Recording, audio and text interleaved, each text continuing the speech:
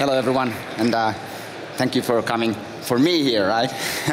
uh, so I'm Tom. I'm the CEO and co-founder here at Brinter, and I'm here to present you the future of human tissue engineering, 3D bioprinted tissue. A little bit about the past and history of the company, where we came from. So we are originally from Finland, as you can hear my funny accent is coming from. Uh, in 2018, my co-founder approached me with an idea of building a 3D bioprinter this guy is a genius, so I invested in him, and two years later, he delivered the most advanced multi-material 3D bioprinter in the world. We went to release it in Germany at the medical conference. Soon after, we realized that we ended up building something that has never been before seen. So I took over the company as a CEO and brought it to the United States, where I was already before my, after my previous exit. So why we matter in healthcare? Tissue heals slowly still today. An average nine to months to heal for tendons They're inefficient repairs, costing US taxpayers over $10 billion per year. And there's an unmet need, especially in sports medicine, where over 45% of rotator cuff repairs fail. So today, I'm excited to tell you that we are now 3D bioprinting world's first tissue implants to be commercial next year. We start with the $4 billion soft tissue market globally, focusing on the tendon repairs, which is $1.8 billion in the US, and rotator cuff in a shoulder being our first product, moving horizontally to Achilles tendon, and eventually to ACL. We target $130 million obtainable market three years post-commercialization with a high 83% margin.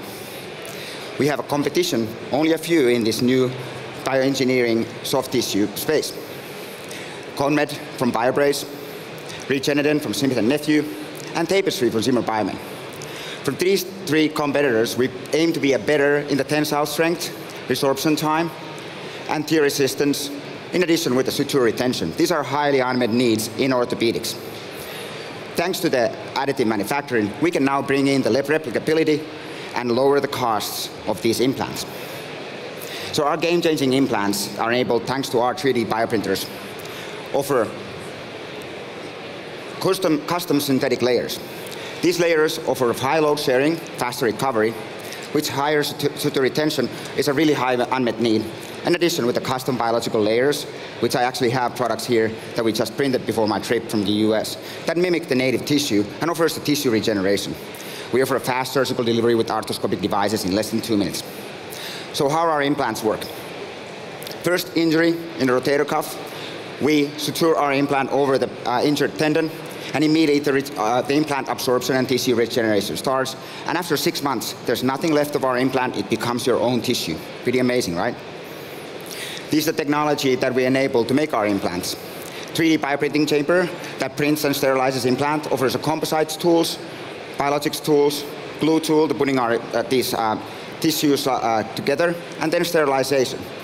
With the lift, it takes it down to a packaging chamber. This packaging chamber then puts the products immediately to sterilized envelopes and ready to be shipped for the ASC and hospitals. ASCs are the ambulatory surgical centers that are primary customers in the US.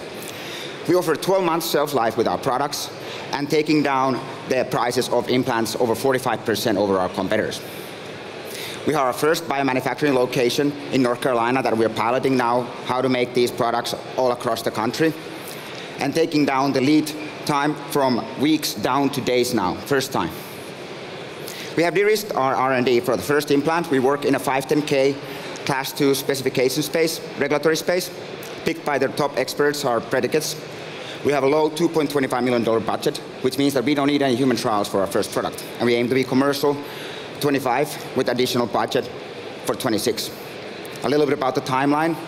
We started our implant development in 23 with materials and printability studies, bench test feasibility studies this year, Q-Sub meeting with FDA before the end of the year in a few weeks, then V&V animal trials next year, and sales and marketing towards the end of the 25 with additional budget. What really makes our implant in the data space better than the competitors is that optimal green area there, the optimal load sharing, load bearing. And thanks to our formulation of our implant, with the 3D bioprinting, we're able to bring in the features that are really looked after in orthopedic surgery space. Our implant and technologies are divided into uh, three different IP sections. First being the 3D bioprinters, now implants, and then combined with the biomanufacturing, which kind of creates a patent fortress around it, so we're secured for the future of all these tissue manufacturing. We're not only going to be staying in our orthopedic space, as we are going to move to soft tissue uh, in plastic surgery, for example, in breast reconstruction, muscle hernia space, cartilage, for example, meniscus, nasal reconstruction, and even though science fiction today, organs will be manufactured within my lifetime, and who knows, we might be that company. The customer need, we've been confirming this all along the way, working with the top surgeons of the, of the world. These, Dr. Scott Siegman and Sharif, these are the celebrities of the space. Sales milestones, that's my space. I'm a BD guy, so we launched it to ASCs, 500 first two years, direct in-house sales rep, aiming $5 million uh, revenue, and there's a high opportunity for exits in the first two years when we start getting the revenue. Three to five years, we're expanding to hospital systems with the help of uh, independent distributors and GPOs, group purchasing organizations, and that's where the hockey still starts growing. Uh, we have a highly experienced team. As I mentioned, I have uh, over 16 years of experience of building companies, both in the Europe and in the US. I have uh, my co-founder with vast experience in science operations and medical devices, our science oper uh, operations officer from BlackRock, our uh, genius behind our 3D bioprinters, Tomi Kalpio, and Dr. Scott Bruder, regulatory strategy, former chief medical and science officer at Stryker, and Michael Francis, actually an inventor of our competitor that I was acquired. So this is the business uh, that we're doing here, is a platform. We're aiming to make implants all throughout the, uh, the future, all the way to organs. So initial application, this is a $3 million revenue, could be valued to $300 million. For example, Embody, that was uh, acquired for $275 million with less than $3 million in sales. So what we're going to do, we'll first launch the rotator cuff in 26, 28 Achilles tendon implant, and then again ACL, and all the way to uh, other dimensions. Full company transaction by the end of this decade could easily be over a billion dollars, as you can see. For example, Wright was acquired for $5.5 billion with a portfolio of orthopedic implants.